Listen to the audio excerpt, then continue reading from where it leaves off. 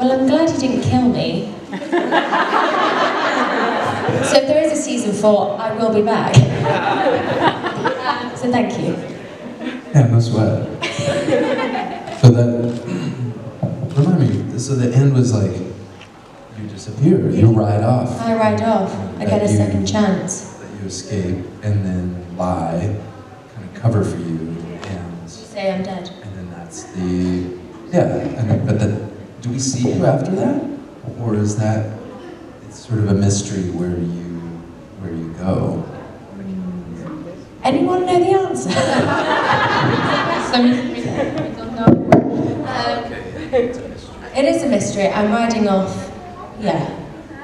Um, I think you go with um, the other girl who's going to go to America or something Yeah. like that, and then you say, no, I'm going to go back to Versailles and finish what I started, and then you change your mind and run after her and you go off into the sunset. Yeah, we didn't really have a strong ending.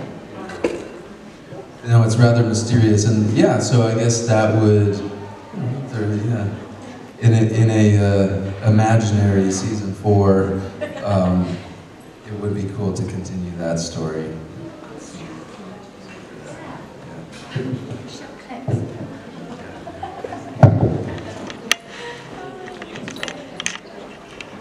La question c'était est-ce que vous étiez satisfait de la fin de votre storyline dans la série? Et si c'est pas le cas, qu'est-ce que vous auriez aimé?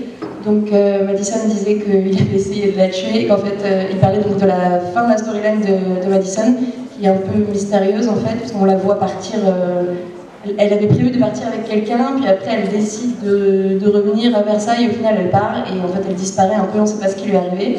J'ai cru comprendre, je, ça fait longtemps que j'ai pas regardé série, je mais euh, du coup j'ai cru comprendre que euh, du coup le, personnage de Ty, donc Marshall, avait menti, entre guillemets, il l'avait couverte et dit que- qu'elle était morte alors que c'était pas vrai.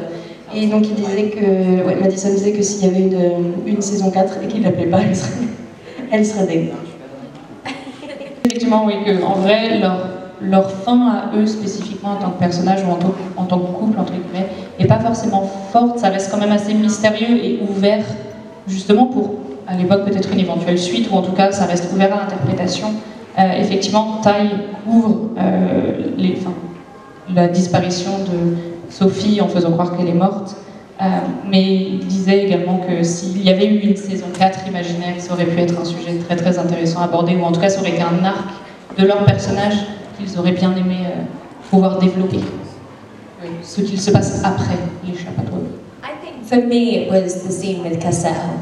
Um, obviously, that's quite a gruesome scene um, and very uncomfortable. Um, so that would be mine. But luckily, Pip.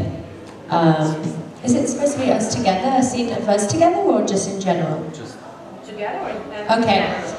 Um, but luckily, Pip, the actor who played Cassel, uh, Judith Cassel, he was the funniest man I'd probably ever met and made everything very comfortable. And he has like three kids of his own, and one was my age. His youngest daughter was my age at the time. So for him, it was very important that I was comfortable because he couldn't believe his wife in the show was his daughter's age. um, so we made sure that it was very well rehearsed and choreographed, you know we didn't freestyle it, and we made sure that everything was comfortable. And we actually, weirdly enough, had a really fun time doing that. I know it sounds awful, but I was like, right, another day at the office, let's go.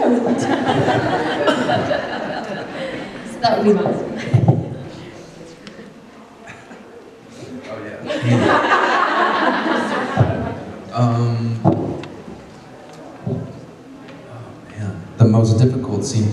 Uh, I've, I've probably answered this question before, but uh, I would I would say there's there's probably two, a few for different reasons, but um, I think acting wise, maybe in season one, uh, drowning the baby was it was interesting to me uh, because we're, we're just getting to know this character and I'm, I'm writing this backstory we're just I think we shot that scene I think it was my second day on set.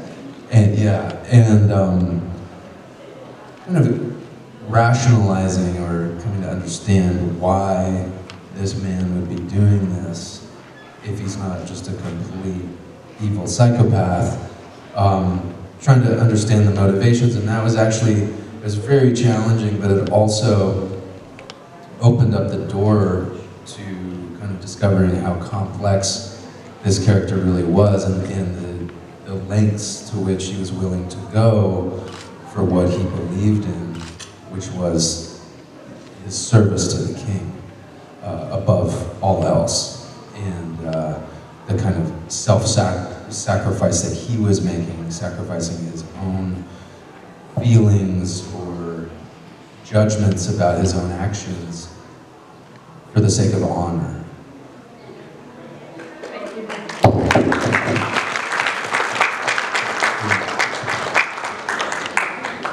Du coup, la question, c'était quelle était la scène la plus dure à tourner pour, eux.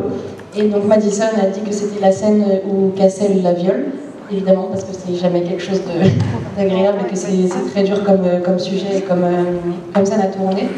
Et en fait, euh, elle disait que l'acteur qui joue Cassel est quelqu'un d'extrêmement drôle, sûrement la personne la plus drôle qu'elle a jamais rencontrée.